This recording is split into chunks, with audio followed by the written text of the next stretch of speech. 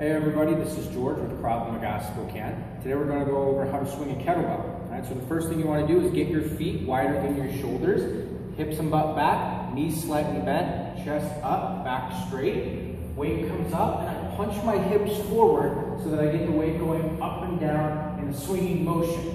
Hips and butts should drive back and forth so that I can use my hips and my legs and everything to get that weight going. Hope you guys enjoyed the video. Hope you have a fun and safe day.